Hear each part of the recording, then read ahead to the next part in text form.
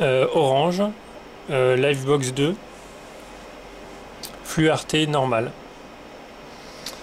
Euh, sans, en avion sur la chaîne 7, je tombe directement sur le flux HD alors que j'ai un débit de synchronisation de 7161 kilobits par seconde. Donc la qualité est catastrophique.